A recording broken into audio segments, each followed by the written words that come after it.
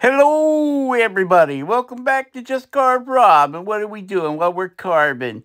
We've got that Bauer uh, battery operated rotary tool from Harbor Freight. And it's been working a treat, I tell you. It's been working a treat. We've got that uh, Saw Extreme Burr from Kutzall in there. It don't even care, friends. It don't even care. It's just a ripping and a ripping. That's what it does. And we'll be doing a lot of, uh, well, we'll be doing some knife work in here, if that interests anybody. Um, I'm a big fan of sharp, sharp equipment. Yep, big fan of it. Like the knives. Have fun with them. I don't need power when I'm out and about, but now I have that option with this fancy new rotary tool.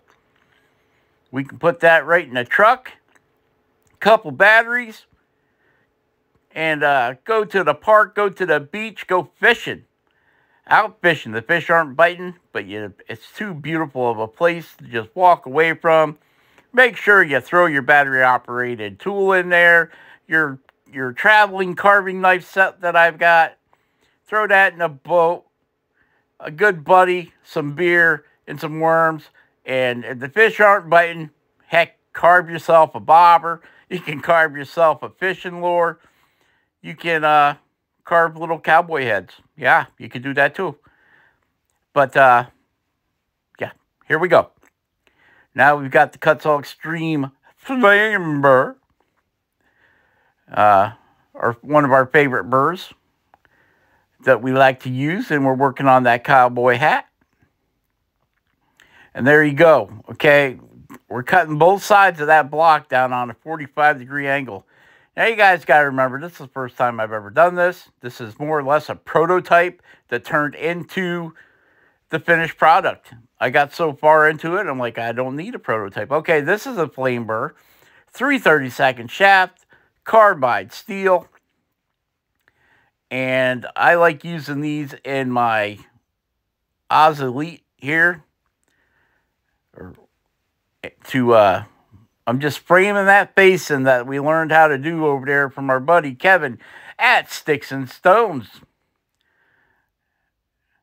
Old Kevin's been missing in action. Yep. Hope he's okay. Sent him a couple messages. Haven't heard nothing back from him. But Kevin does disappear, and he disappears for years at a time. So hopefully he'll be back and we'll be able to get more tips and tricks from Kevin.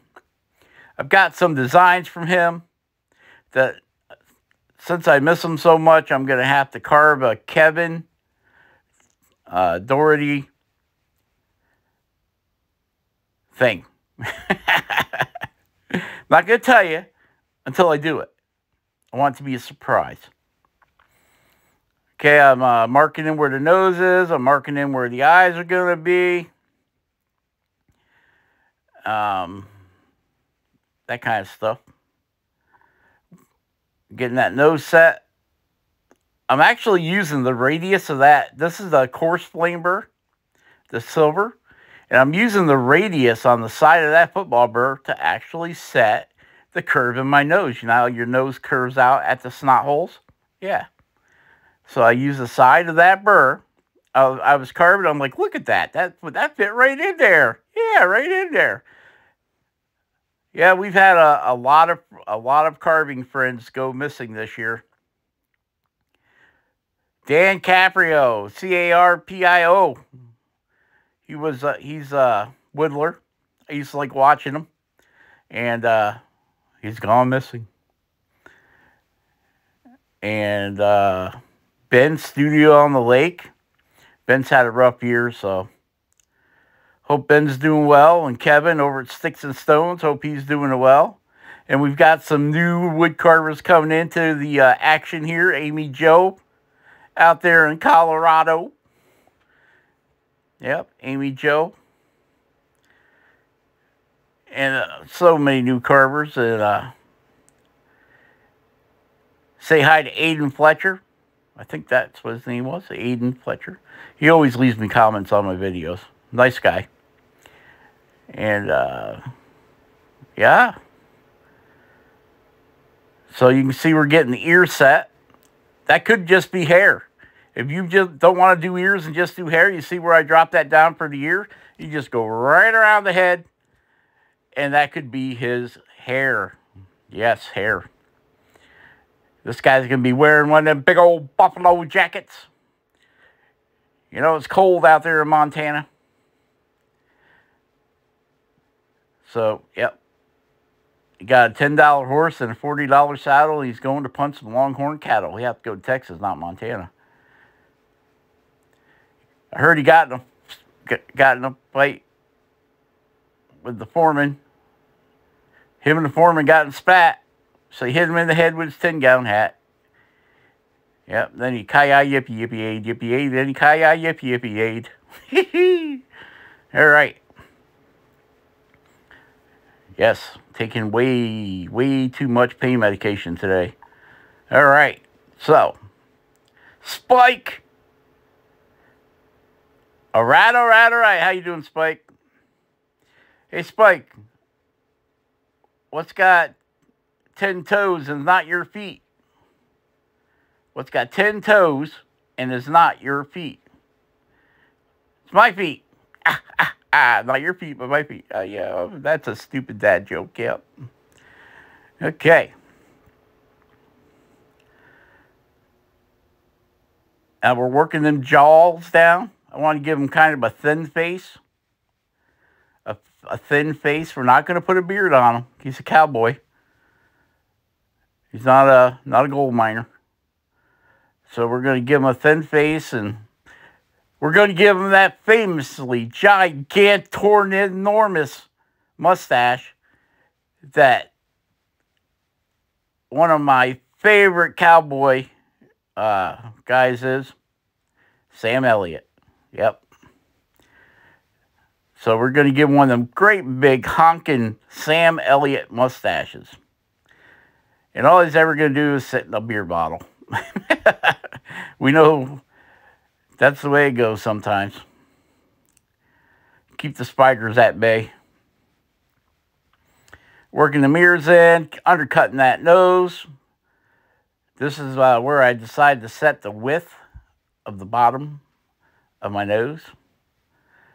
And you can see I'm, I'm working that nose down and the cheeks back I learned on on when you're doing the upper part of the eyebrow ridge, I used to cut it almost straight in, you know, like the wood spirits. And I'm like, but that makes it harder to put an eyeball in there, right? Because you got the straight in cut. So I've almost been cutting that down. You know, if you go from the forehead straight down, uh, I've been cutting that more flat. And that already starts the upper eyelid for me. So uh, I hope that helps you. Just some uh, information there.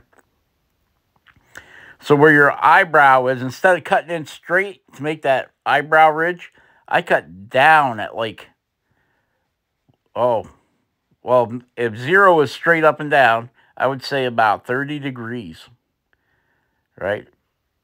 Don't want, even at 45, it's still too steep. You want less than that. And I learned that trick from my buddy over there at Woodsyke. Always waited till last put the eyes in. But after watching him carve, he like, as he works the face in, he gets that nose in and then starts the eyes right next to the nose before he gets the nose all the way cut in. So go over and check out Woodsyke. He's got some pretty cool videos over there. Uh, he does a lot of uh, faces. And the last one he just did in a big pine knot was awesomeness. Yep. Woodsyke. Go check out Paul over at Woodsyke. And who's that other guy I watch? Um, can't think of his name. I can see him, but I can't think of his name. Yep, my mind is slipping into poop. slipping into poo. Uh, of course, everybody watches Doug Linker and Carving and such, and Kevin Coates. And let's not forget about the original YouTuber, the OG of YouTube in the carving community, Gene Messer, the godfather of Flat Planes carving. Love Gene's work. Gene is probably the first uh, YouTube video I ever watched on carving. Um, I, I, I had bought some books and uh, I'm dating myself now, but uh, some videotapes. now we go live to the video uh, cassette. And uh, as far as YouTube, Gene Messer was the first guy I ever seen wood carving. And he has set me on down this road to wood carving. Thanks a lot, Gene. Appreciate it. Or I don't, I shouldn't be, be calling him Gene. I should be calling him Mr. Messer. Mr. Messer. Because, like, we're not, I've, I've talked to him a couple times online, but that's about it. Um, show your elders respect, friends. I know we still have manners in this country somewhere. I've been looking for them, ain't found them, but I know somewhere in this country, people still do have manners. Right? So, thank you, Mr. Messer. Okay. Then we got Wood uh, Jordy over at Carving Fusion. My buddy Jordy, my war my Warframe friend. Yeah. He's been busy, busy with the chainsaw. He's whipping things up over there like you wouldn't believe. I can't tell you. I can't tell you. Because when I tell you, he always yells at me. I wasn't going to tell him yet. I wasn't going to say anything about that yet. Okay, well, I'm not saying nothing. Nothing, nothing, nothing. But I know. Ha ha! And uh, yeah, we're just cleaning that face up. We're getting that, that big old mustache worked in. We're getting the sides of his jaw set. And I thought I only had two of these bottles, but I guess I got three of them. Uh, so we're going to put a cowboy in one and a something in another one and another something in another one. I don't want I don't want to let the cat out of the bag. No, it's not going to be a cat. Uh, could be. What kind of beer? Cat piss, cat piss beer. His dog piss wood. i have cat piss beer. Uh, so yeah. And it takes a minute to get that mustache cut in there because I want a big, thick, bushy mustache. You know why cowboys got shit in their mustache, don't you? I'll tell you. Looking for love in all the wrong places.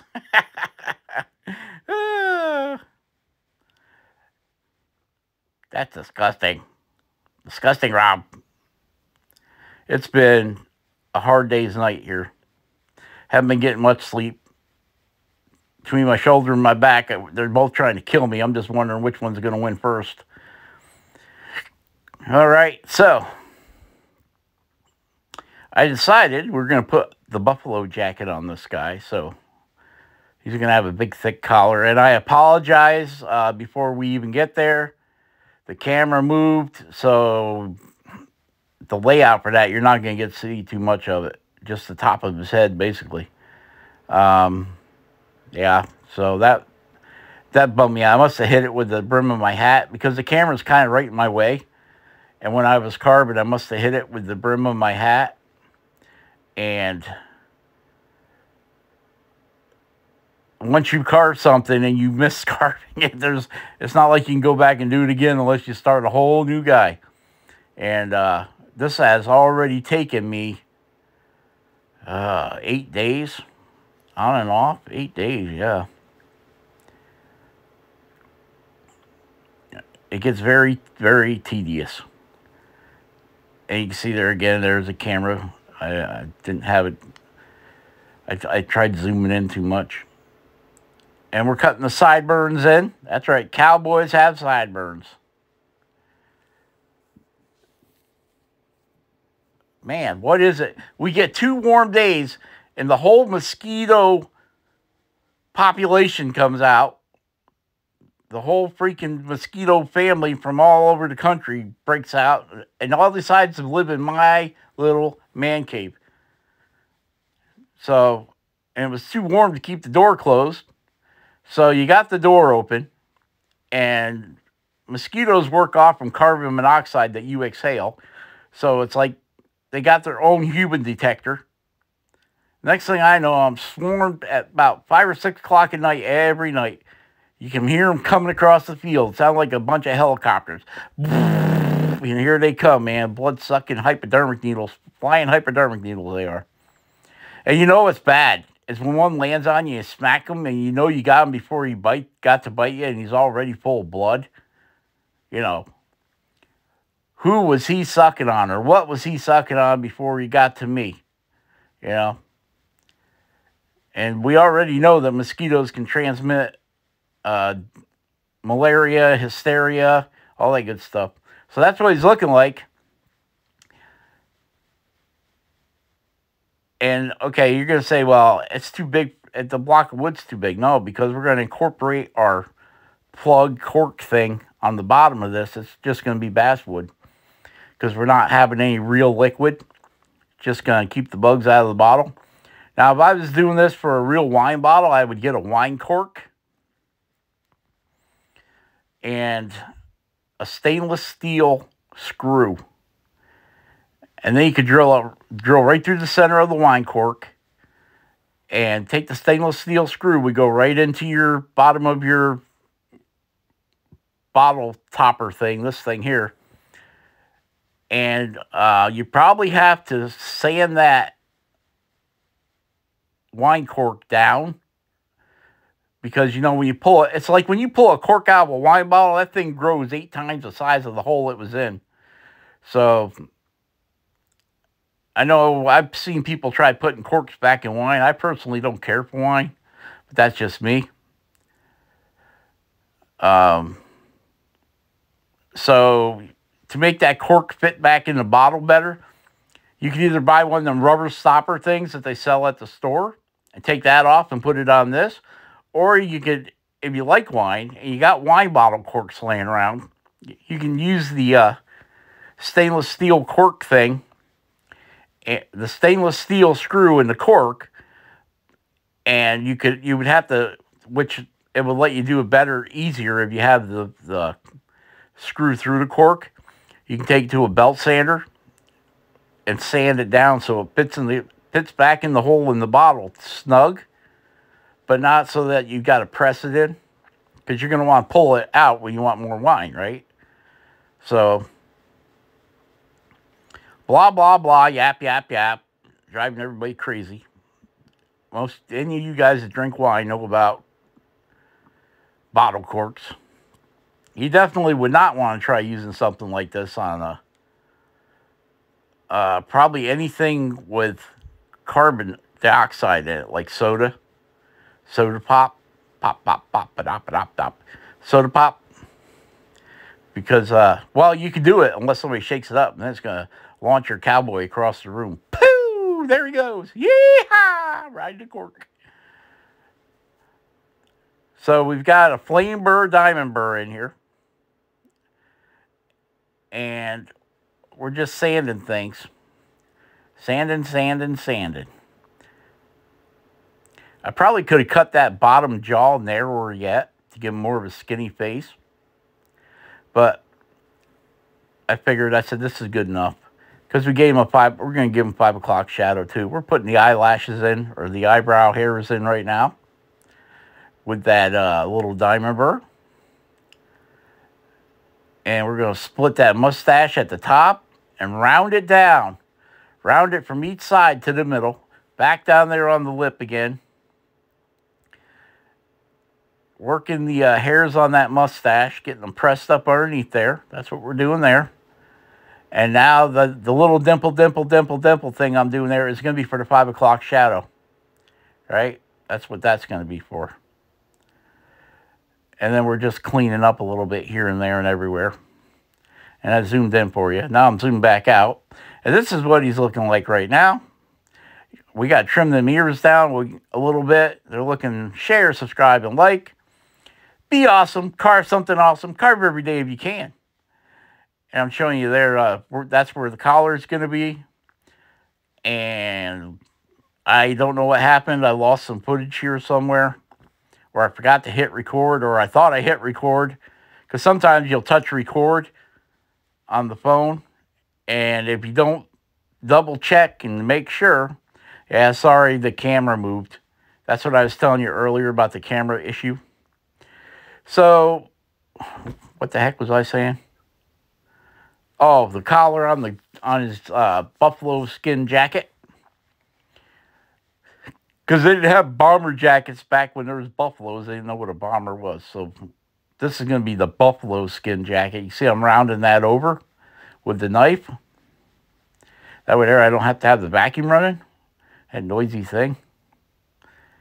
Probably got the music blasting in the background. And uh, we're carving this guy here. Timothy Reed. Say hello to Timothy Reed. Therapy 49. Haven't seen him around. But he works for uh, one of the big auto manufacturers in Detroit. So they're probably keeping him busy. Uh, he was making some wicked, wicked cutting boards and uh, custom pencils and pins, mechanical pencils and pins. And there he is. That's what he came out looking like, all painted up. See the fiber clock shadow? Yep. Buffalo jacket? Yep. Gray hair and everything. That's how it, it was fitting really tight at first. And then after it's set and dried, it shrunk up a little bit. So that's all right. Share, subscribe, and like. Help a bro out. Hit that like button. Bye-bye.